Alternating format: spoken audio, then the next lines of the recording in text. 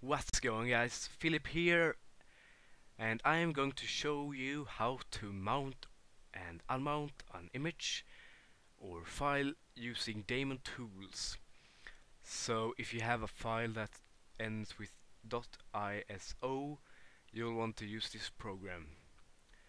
Uh, I think there is a program called Power ISO that you can use as well, but uh, I'm more familiar with daemon tools, so that's what I will use.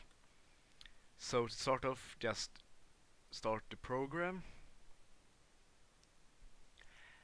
Personally, I find it easier to just clo close this one down and instead go to the bottom right corner here and find the daemon tools icon press right click virtual unit and here you see dt oh, note e no media mount image and simply locate your file that you want to mount double click and here you see mounting image. And there's there it is done and now to demount it simply right click virtual units go to the same virtual unit you used to mount your image and demount image. I'm also going to show you how to add a virtual unit. It's pretty easy. Right click virtual units and add virtual DT unit.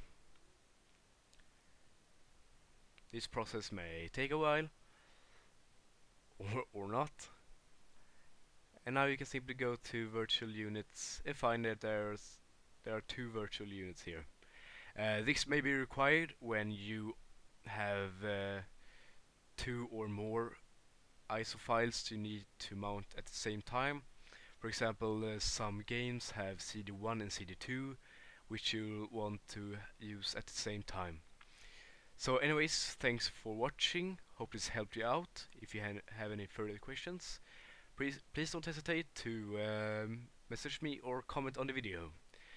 Uh, until next time, hasta luego.